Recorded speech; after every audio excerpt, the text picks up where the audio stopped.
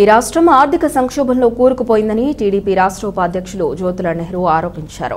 గండేపల్లి మండలం మల్లేపల్లిలో అధికార YCP party నుండి పలువురు తెలుగుదేశం పార్టీలో చేరారు. తెలుగుదేశం పార్టీలోకి చేరిన పద్నాలుగు కుటుంబాల సభ్యులకు నెహ్రూ పార్టీ కండువాలు వేసి పార్టీలోకి ఆహ్వానించారు. ఈ సందర్భంగా జ్యోతుల నెహ్రూ మాట్లాడుతూ అధికార పార్టీ నుండి తెలుగుదేశం పార్టీలోకి చేరిన వారిని స్వాగతిస్తున్నామన్నారు. పార్టీలో వచ్చిన వారికి సముచిత స్థానం కల్పిస్తామన్నారు. రాష్ట్రం ఆర్థిక సంక్షోభంలో కూరుకుపోయిందని ఈ మూడు సంవత్సరాల కాలంలో ఎనిమిది లక్షల కోట్ల రూపాయలు అప్పులు చేసి రాబోయే రెండు సంవత్సరాల్లో మరిన్ని అప్పులు చేసి రెండు వేల ఇరవై నాలుగులో వచ్చే కొత్త ప్రభుత్వానికి పన్నెండు లక్షల కోట్లు అప్పు ఈ ప్రభుత్వం అందిస్తుందని ఆయన అన్నారు. ఒంటెద్దు పోకడలతో రాష్ట్రాన్ని అధోగతి పాలు చేశారని నిత్యావసర వస్తువులు కానీ రైతుకు గిట్టుబాటు ధర కానీ ఎక్కడా నిలకడగా లేదని ఆయన అన్నారు. ఈ కార్యక్రమంలో రాష్ట్ర తెలుగుదేశం పార్టీ కార్యదర్శి ఎస్పీఎస్ అప్పలరాజు జగ్గంపేట మండల తెలుగుదేశం పార్టీ అధ్యక్షులు మారిశెట్టి భద్రం టీడీపీ నాయకులు అడబాల భాస్కర్రావు దిడ్డి శ్రీను బొల్లంరెడ్డి రామకృష్ణ మల్లేపల్లి గ్రామ టీడీపీ అధ్యక్షులు తెలగరెడ్డి భద్రరావు కాటేపల్లి భద్రం చింతపల్లి వీరభద్రరావు తెలగరెడ్డి ప్రకాష్ రావు తెలుగుదేశం పార్టీ నాయకులు కార్యకర్తలు అభిమానులు పాల్గొన్నారు.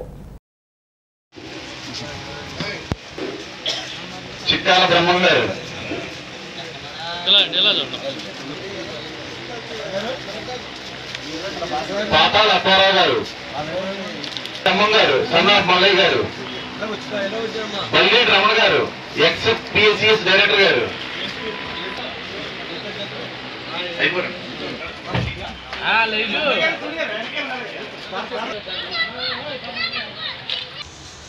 నూతనంగా తెలుగుదేశం పార్టీలో పునఃప్రవేశం చేసినటువంటి మిత్రులు అందరికీ కూడా నా హృదయపూర్వకమైనటువంటి ధన్యవాదాలు తెలియజేసుకుంటున్నాను పత్రికా సోదరులకి మీడియా సోదరులకి నా ప్రత్యేక ధన్యవాదాలు ఇక్కడ లేకపోయినా. చాలా సంతోషం. ఇవాళ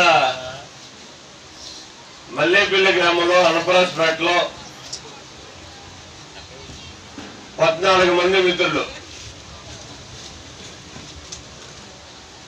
మరి నూతనంగా పార్టీలో కూడా రాష్ట్ర తెలుగుదేశం పార్టీ తరఫున మనస్ఫూర్తిగా స్వాగతం పలుకుతున్నాం. స్వాగతం పలుకుతూ ఒక్కసారి పార్టీలోకి తీసుకుంటున్నామని చెప్పి ప్రకటించడం కోసం